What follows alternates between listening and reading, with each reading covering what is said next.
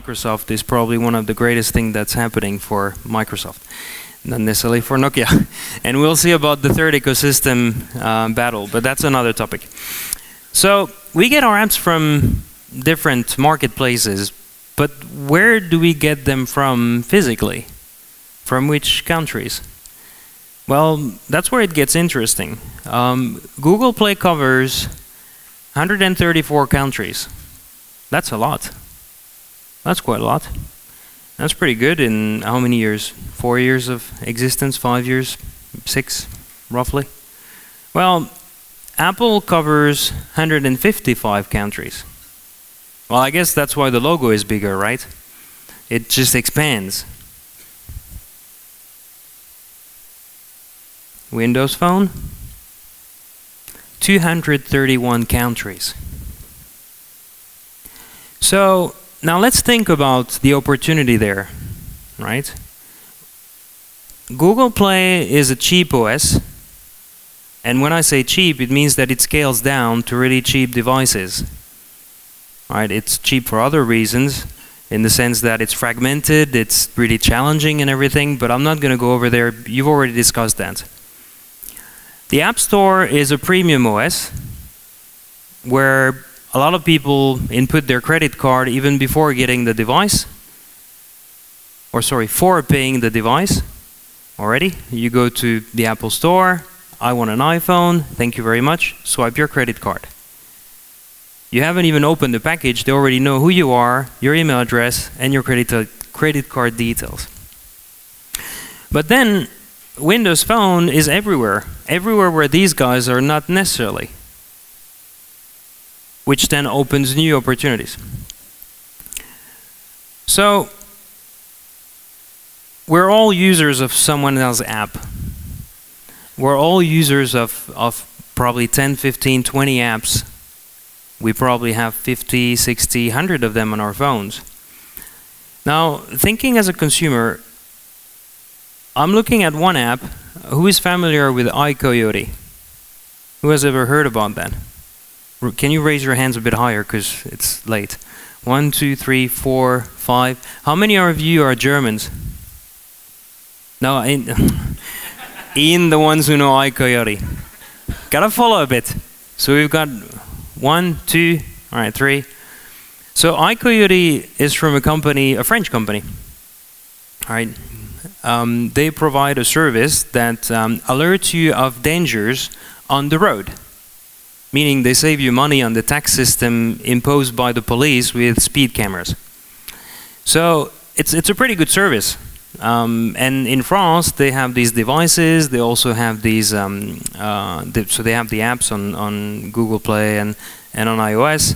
And um, well, my my um, brother-in-law um, uses the device a lot. And one day I just came back to France from Finland.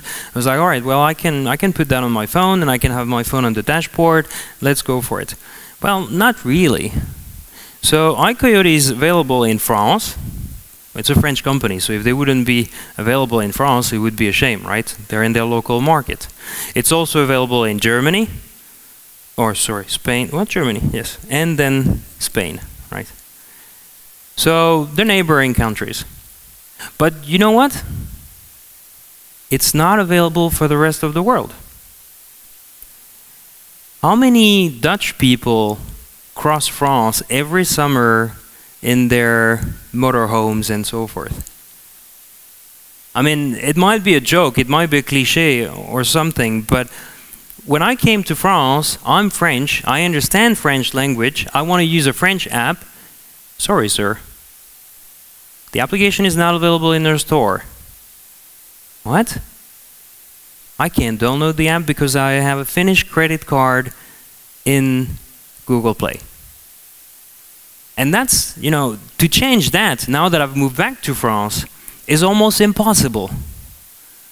I've been trying three or four times Google Plus settings and everything to switch back to a French one, switch back to a French uh, market. It's a pain. When you put your credit card once, it's really challenging. On iOS, it's a bit easier, but it's still a step to make. So when you're traveling from one country to the next, some apps are not available. Who is publishing their app only in one country right now? Yeah, one, two over there. Can, can we have can we have some feedback from you guys? If we get the microphone, I'd like to hear what's your interest in having the app only in one country. So that was the very first stage. Uh, so we are planning the expansion. So I, I, I don't think it answers your question because it's it's a temporary situation. Yeah, but exactly. So this is one. That's one of the points that I wanted to make is that it's not necessarily a bad thing to do that. To have the opportunity to select which market you want to launch the app in makes sense. In your case, for example, you want to go to a first test market. It might be a local market. You want to make sure that you know it works, that you build some kind of interaction with the community and so forth. It makes sense. So language and platforms can be a tool in order to test things, in order to go to market, in order to build your audience. And that's where we're going to look at uh, another um, example. Angry Birds. Who does not have Angry Birds on their phone? Wow, that's a lot more than last year. All right, I guess it was the right move. Um, so I used to work there. The data that I'm going to be sharing are about um, a public article that's available on Wired. And um, so Rovio launched their game on the US store thinking that hey, we've got a great game, great characters, great interactions. It's it's really simple. My mother loves it. Everybody loves it at the office. It's great. Well, it didn't work. It didn't fly. That's maybe why they cut the wings, right? So it didn't work. Why? Because there was so much competition already at the time. What they did, and that was the smart move, is that they went to small countries, countries where the app stores were a lot smaller, where the offering was a lot smaller. Their app is not really difficult to localize. There's almost no text. It's all in the credits. So it was easy for them to go to Sweden, Finland, where they're from, Czech Republic, Denmark, and Greece. And that's where things got interesting. So Matt Wilson from Rovio says in that article that they managed to be number one in all these stores with as few as 30,000, 40,000 downloads. All right, granted, this is not the case anymore, most likely. But still, think about the local opportunity. And this is exactly what got them to be featured in the US and conquer the US, the UK, and now as many countries as there is of app stores. It was because they managed to be at the top of something that was really small. That Apple was like, well, who are these guys that are at the top of these app stores? Well, they're the guys that we met a few months ago, but we didn't really believe in their app. Um, can we see them again? And then they got featured. So it might, I mean, you might not be able to replicate the um, Rovio story. Who would want to do that, right? But what you might be able to do is learn from it and, and see how you can, as this company over there, um, I haven't heard, I don't remember the name, I don't think I've heard the name. What was the name of your company or your app? One, two, three. Can we get the mic down there? Educational app. Educational application? Yeah. And is it available in Germany only or? Uh, you can download it. You can download it. It's not uh, limited in the App Store, but the promotional focus is on local market. All right, so you still have it open in, in the, the whole world? Yeah, yeah. Okay, well, that still makes sense. But basically, there is an opportunity in restricting the focus so you can really build on the cultural differences, on the languages, and so forth. So now there are plenty of languages, there are plenty of different places, and, and as the gentlemen say, we have to kind of focus our resources. We talked about marketing earlier, we talked about publicity, we talked advertisement and so forth. You can't be just spending money all over the place in every front. Um, so let's look at some numbers. And the first one are from AppLift. They've got a great roll up. Um, bless you. Um, they have a great roll up um, in the uh, in the entrance um, that you can also find online. Um, that gives a lot of information about the opportunity. I was um, recently in, in San Salvador and discussing with Movistar. well, the smartphone business in Latin America is just growing. They only have in Salvador 1 million 2 million devices, which is not a lot. But at the same time, every single operator is now fighting to be number one in that respect. They have really good 3G access. Um, it's growing. They're not yet on 4G, but they are getting to the point that people want apps. They want services. Now, interestingly enough, there are over 10 million Americans speaking Spanish, right? And two million of these Americans or people in the United States speaking Spanish are from San Salvador. So we're talking about social, we're talking about sharing, we're talking about telling people about cool stuff and everything. Now, could that be a route to market?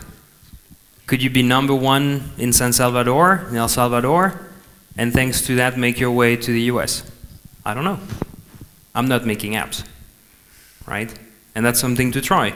But that, that's, these are all the opportunities. So if we look at it, there are major regions in terms of, um, let's say, benefits. Uh, North America is definitely the easiest one. A lot of companies go to um, Canada uh, to test their launch um, because it's a bit smaller market. It still speaks English and so forth. Um, then we have Western Europe. Um, the UK is a good place to start as well for the same reasons.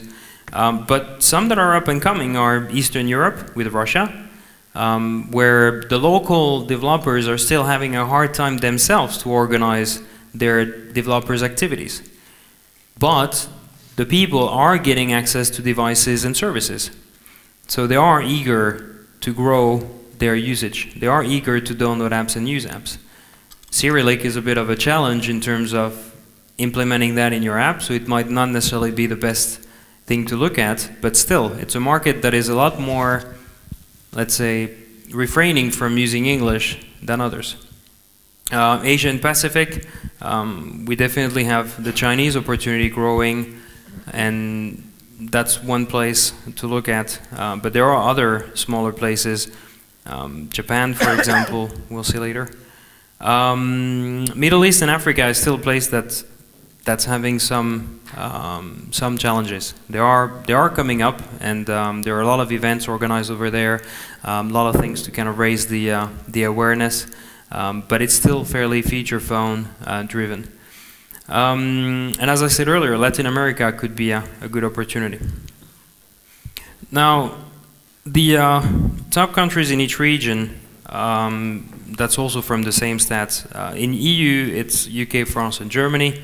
Um, in Middle East, UAE, Saudi Arabia, and South Africa. I guess South Africa is easy with English.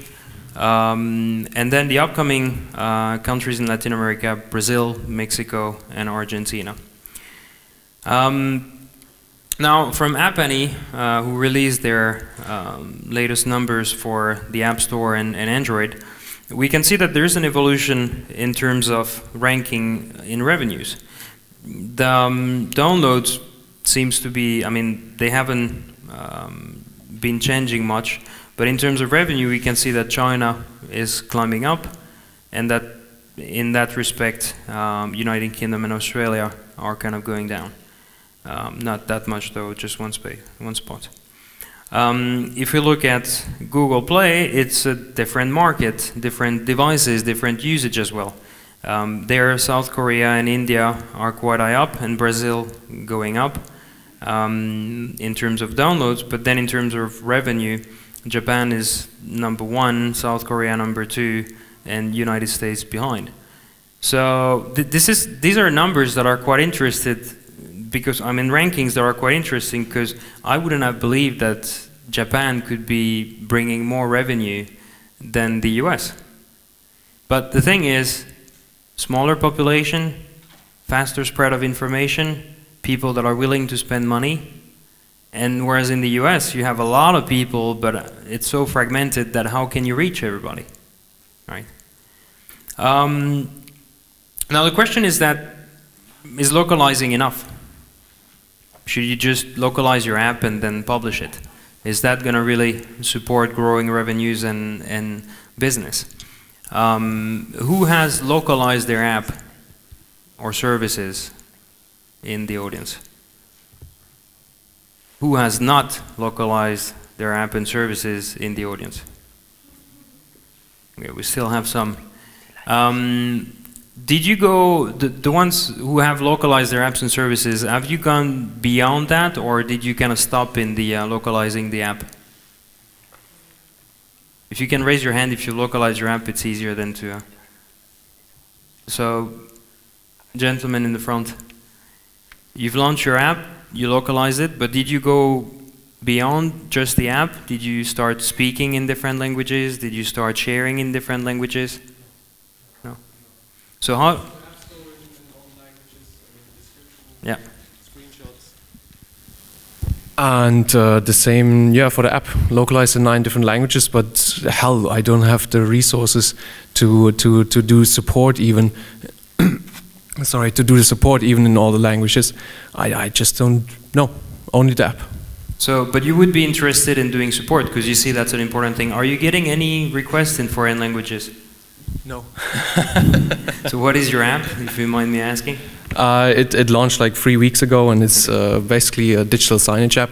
It's an app that does, um, uh, like you see the, the screens where you see advertisement in public space, and this as, as a standalone app, because we do this actually digital signage, and the app is just for people to get to know what is digital signage. So you, you pretty much launched the service uh, essentially in Germany, and or or can you can you use the service everywhere in the world?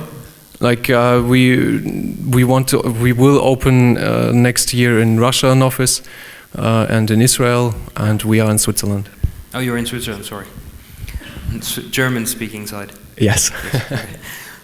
Uh, um, but but ultimately the uh, the apps like can you see ads all around the world or can you only see ads in, in a specific location?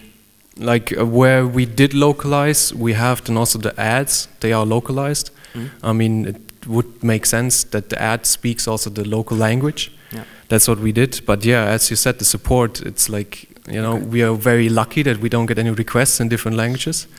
But yeah, support, newsletter sign up, all of these things is only English German because we don't have the resources for any other languages. Okay. There might be a solution to that. Um, so we were talking about Shakespeare earlier. Thank you, by the way, for your answer. Uh, we were talking about Shakespeare earlier. Um, well, books have always been translated and adapted and, and so forth. And um, when you translate the book and adapt the book, you also translate and adapt the cover and the back cover that will then tell the story about the book, which is uh, exactly the same thing anywhere else. So localizing your app is the first step. Then localizing all the descriptions in in the uh, app stores and places where your app is available um, is the next. But then, and and this is something, for example, that iCoyote has done. So they have localized all their content um, in the different stores that they're available, which is definitely a great thing. Now, the next step is engagement. We talked about customer support, that'll come in the next slide. Um, but how do you get people to discover your app in different places if you don't necessarily speak their language? Um, we've seen companies on Facebook, for example, having a Facebook page for each and every single country. Well, it's one way to do it, and you hire people that are going to be speaking about that, that are going to be engaging with people in the local language. Um, there are gaming company, for example, Supercell um, in Finland, that are really, really that they really want to be close to their customers. So they are going to be recruiting a person per language in order to be able to provide the customer service, the engagement, and so forth. But they can do that because they have a really high ARPU. They can each and every of their customers bringing them so much money that they can afford doing that. But as a small developer, you're starting, you can't necessarily do that, right? And in this case, it might be better to just stick to English or your local market and not necessarily grow in other places. But the interesting thing there is that Facebook allows posting and, and targeting um, from the Facebook page, for example. So if you have, uh, who has a Facebook page here in terms of services? Can you raise your hands a bit higher? So how many of you are using the uh, targeting on these Facebook pages? How many were not aware that you can do targeting on the Facebook pages? Okay, so it's a it's a bit hidden um, within the um, within the settings. Uh, if I remember correctly, it's about uh, filtering content in the settings. When you activate filtering content, then you can do uh, the geo-targeting and you can target to even a lot of different um, options. But basically, now some companies are starting to target languages within the Facebook page, but are using one single Facebook page for everything. And this could be quite powerful for app developers and service providers because that's one way to start engaging with the community. Our app is not available yet in X language, but we'd like to hear what you think about it. And if you're interested, you can register on, on our newsletter so that we let you know as soon as the app is available. So these are the things that the, the different languages give you the opportunity for is that you can start building up your community in a language before you even have an app launched. Getting back to Rovio, they did a similar thing with, the, um, with their app in terms of iOS and Android. They, refuses, they refused to launch on Android for a long time, and the time that they launched on Android, they made millions and millions of downloads within a couple of hours. And that was all building the community, building the uh, incentive for people to keep looking at these things, to keep coming back and wanting more and screaming about it, and so forth. So engaging on a different social media channel might be an opportunity to build up the audience, build up the community. Um, the last one, who knows the last picture? Who's familiar with that logo? We've got one, two. So the Great Firewall of China blocks the two first ones, and the third one is the local one. That's Sina Weibo. It's the Twitter of China. And sharing your content on Sina Weibo is one way to build up engagement in China. Um, now we were talking about customer support. Uh, who is using Zendesk in the audience? Who is aware of Zendesk in the audience? who is using customer service support via any platform? Let it be Zendesk or another one? Okay, so that's not that many. The, um, the opportunity with customer support um, using a third-party platform is that it structures your customer support and you don't have to worry too much about it. Um, you still need to answer the, uh, the customers and so forth, but you can build up uh, history and track record and, and knowledge um, and sort and filter and, and so forth. So customer support is now becoming like the uh, sales channels with Salesforce, SAP, and so forth, um, where there's a lot of follow-up leads and, and uh, so on. Um, now you can do similar things with um, customer support uh, software as a service like Zendesk. Now when you start going international, you can't grow your team as fast as the countries that you support. Um, hiring a person costs a lot of money, and you don't even know if you're going to need to support these people. So there's a phase in which you're unsure does it really make sense to go international because then you can do supports and so forth. But ultimately, there are opportunities to, at the same time, figure out which country makes sense in the startup environment, we've realized that your market is not where necessarily where you think it is. And there are successes that have happened um, where companies have launched in a certain market and realized that another market made more sense for them.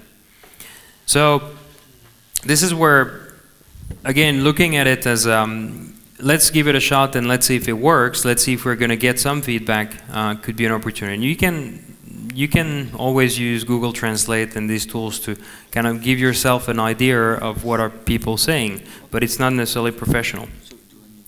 So that's where we get to the sales pitch. and I hate doing that, so I'm going to be really fast. Um, so all these things are things that can be solved, um, but they shouldn't get in the way. You shouldn't have to go to Google Translate and copy paste and then come back. You shouldn't have to ask somebody, send them a localization file and tell them that, hey, can you translate that? Then the project manager is going to come in the picture. Yes, we can. It's going to take 10 days, working days. Oh, god damn it, I'm in a startup, working days every day. So how, how can you streamline these things? And that's where well, we're the Cisco of translation. Um, we're putting ourselves around the network. We've got over 20,000 translators um, accessible through our services. Um, and we're growing every day. Uh, we're partnering with translation companies, smaller, bigger ones, to make it seamless for people to communicate and engage in over 80 languages. Um, so we've integrated with Facebook, Twitter, uh, Weibo, Zendesk, Unity, and then we've got other services. Um, is there any real hardcore developers in the audience?